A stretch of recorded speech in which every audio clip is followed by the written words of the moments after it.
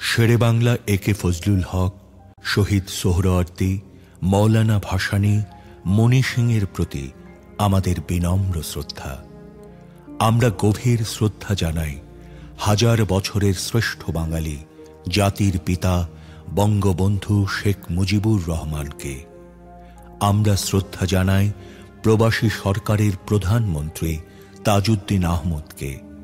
আমরা শ্রদ্ধা জানাই একাত্তর পূর্ব ছাত্র নেতাদের, যারা বান্ন, বাষট্টি, ছেষট্টি, ঊনসত্তরে গণ আন্দোলনের সৃষ্টি করে বাঙালি জাতির স্বাধীনতা ও মুক্তির সংগ্রামে বঙ্গবন্ধুর পাশে ছিলেন। আমাদের বিনম্র শ্রদ্ধা রইল তিরিশ লাখ শহীদ ও পাঁচ লক্ষ নির্যাতিত মা বোনের প্রতি। আমরা শ্রদ্ধা জানাই বীর মুক্তিযোদ্ধাদের যারা স্বাধীন বাংলাদেশ সৃষ্টি করতে শহীদ হয়েছেন।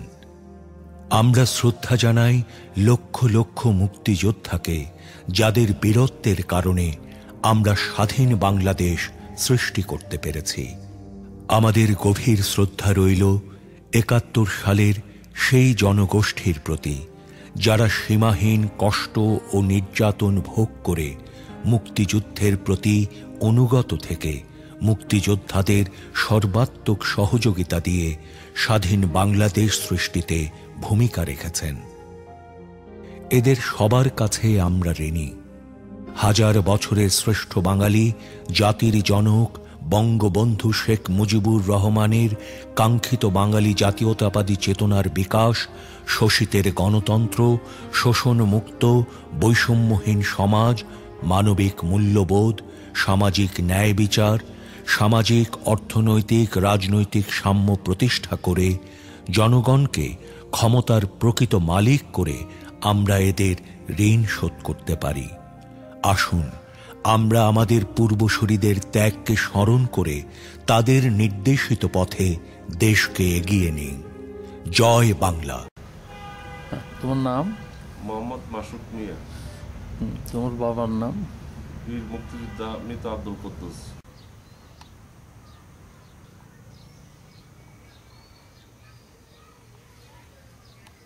তোমার দাদার নাম মৃত ইয়া হোসেন।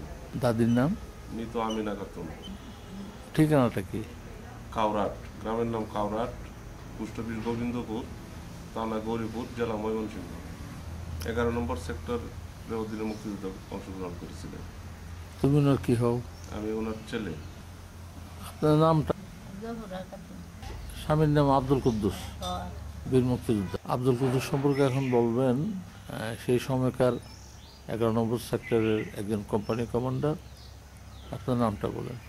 আমি ডাক্তার মোহাম্মদ শাহ আলম ভুঁইয়া। আমি এগারো নম্বর সেক্টরের একজন কোম্পানি কমান্ডার কর্নেল তাহেরের সাথে থেকে যুদ্ধ করেছি। প্রথম আমি শিববাড়ি দিয়ে ইন্ডিয়াতে প্রবেশ করি, নভেম্বরের প্রথম দিকে। আমরা যখন একবার শিববাড়ি আসলাম, তখন আমরা দেখলাম আব্দুল বীর মুক্তিযোদ্ধা আব্দুল কুদ্দুস, যিনি বর্তমানে মৃত। বাড়ি গৌরীপুর তিনি আব্দুল রাজ্জাক কোম্পানিতে ছিলেন। তিনি অসুস্থ অবস্থায় শিববাড়িতে চিকিৎসার জন্য গেছেন এবং ব্লাড ডিসেন্ট্রিতে ভুগছিলেন। তার সাথে পরিচয় হওয়ার পর আমরা এটুকু জানলাম, সে প্রথম শিববাড়িতে যাওয়ার পরে এফএফ ট্রেনিংয়ে না গিয়ে সেখান থেকে বাছাই করে যখন যারা দুম ট্রেনিং করার জন্য, বিএলএফ প্রশিক্ষণের জন্য যখন নিয়ে যাচ্ছে রিক্রুটমেন্ট করে, কিন্তু এখান থেকে আমাদের ম্যাক্সিমাম আমরা ওই এফএফ ট্রেনিংয়ে তুরাতে গেছি। তিনি চলে গেছিলেন আপনার বিএলএফ ট্রেনিংয়ে। সেখান থেকে বিএলএফ ট্রেনিং শেষে কিছু রৌমারি রাজীবপুর, তারপর জামালপুর, মেলান্দহ এবং গৌরীপুরের কিছু ছেলেকে বিভিন্ন এফএফ কোম্পানিতে ডিপ্লয় করে পাঠিয়ে দেয়। তাদের সাথে তাদের কোম্পানি কমান্ডার হিসাবে আব্দুর রাজ্জাক সাহেব মুক্তিযুদ্ধে অংশগ্রহণ করে দলা হয়ে তিনি গৌরীপুরের দিকে অগ্রসর হন।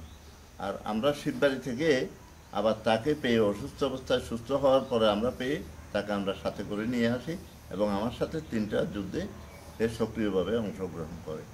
এরপর যখন আমরা চোদ্দ নভেম্বরের যুদ্ধে কর্নেল তাহের সাহেব পা হারালেন তারপরে যখন আমরা শিববাড়ি হয়ে আবার দেশের ভিতরে ঢুকে যাব আমার বাহিনী নিয়ে, তখন আমার সাথে তাহের সাহেবের ছোটো ভাই ওয়ারাসাত হোসেন বেলাল বীর স্বাগত হোসেন বাহার বীর সহ অন্যান্য যোদ্ধারা যখন আমরা আসছিলাম, তখন আব্দুল কুদ্দুস আমাদের সাথে শ্যামগঞ্জে চলে আসেন।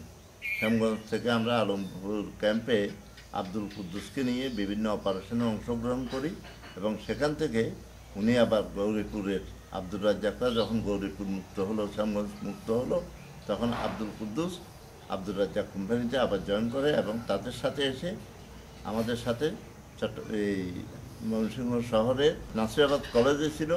আব্দুল কুদ্দুসদের বাহিনী, জেলা স্কুলে ছিল আমার একটা কোম্পানি আর একটা কোম্পানির দায়িত্ব আমি পেয়েছিলাম যুদ্ধকালীন সময়ে, সে কোম্পানিটা ছিল এই বিদ্যাময়ী স্কুলে। এবং আমি সার্কেট হাউসে থাকতাম N Hamidullah Khan, captain Aziz, lieutenant Mannan এবং অন্যান্য অফিসারদের সাথে। সেখান থেকে আমরা সার্টিফিকেট বিতরণের সময়ও আমরা একটা সার্টিফিকেট ওনাকে দেই। উনি মুক্তিযুদ্ধে সক্রিয়ভাবে অংশগ্রহণ করেন। এটি তুমি কি তোমার বাবার ইতিহাস সম্পর্কে জানো কিছু? জি আমার বাবা আমি যখন ছোট ছিলাম তখন অনেক গল্প করছে যে উনি মুক্তিযুদ্ধে অংশগ্রহণ করেছেন। ওনার সাথে আহ, গরিপুরে ফজলুল কাকা তারপরে চুন্নু কাকা এবং আরও অনেকেই ছিলেন। আমি তো ছোট ছিলাম বাবা মারা গেছে তখন তেমন একটা বুঝিও নাই। অনেক স্মৃতি হয়তো বলতে পারে নাই বা আমি ছোট ছিলাম এই জন্য বলতে পারে নাই। কবে মারা গেছেন কবে দুই হাজার আট সালের চৌঠা এপ্রিল। আমার বাবা যখন দুই হাজার আট সালের চৌঠা এপ্রিল মারা যায় সেই সময় তখনকার উপজেলা কমান্ডার যিনি ছিলেন ওনার অধীনে ফজলু কাকা সহ ইউনু সহ রাষ্ট্রীয় মর্যাদা সম্পন্ন করে আমার গ্রামের বাড়িতে নিজ কবরস্থানে দাফন করা হয়। তিরিশ লক্ষ শহীদ ও পাঁচ লক্ষ নির্যাতিত মা বোনের সম্ভ্রমের বিনিময়ে আমরা স্বাধীন। লক্ষ লক্ষ মুক্তিযোদ্ধা বীরত্বের সাথে যুদ্ধ করেছে বলে আমরা স্বাধীন। হাজার হাজার যোদ্ধা বীরত্বের সাথে যুদ্ধ করে শহীদ হয়েছে বলে আমরা স্বাধীন। কোটি কোটি লোক আমাদের সমর্থন করতে গিয়ে অবর্ণনীয় দুঃখ কষ্ট সয়েছে বলেই আমরা স্বাধীন। হাজার বছরের শ্রেষ্ঠ বাঙালি, জাতির জনক বঙ্গবন্ধু শেখ মুজিবুর রহমানের কাঙ্ক্ষিত বাঙালি জাতীয়তাবাদী চেতনার বিকাশ, শোষিতের গণতন্ত্র, শোষণমুক্ত বৈষম্যহীন সমাজ, মানবিক মূল্যবোধ, সামাজিক ন্যায় বিচার, সামাজিক, অর্থনৈতিক, রাজনৈতিক সাম্য প্রতিষ্ঠা করে জনগণকে ক্ষমতার প্রকৃত মালিক করে আমরা এদের ঋণ শোধ করতে পারি। আসুন, আমরা আমাদের পূর্বসূরিদের ত্যাগকে স্মরণ করে তাদের নির্দেশিত পথে দেশকে এগিয়ে নেই। জয় বাংলা।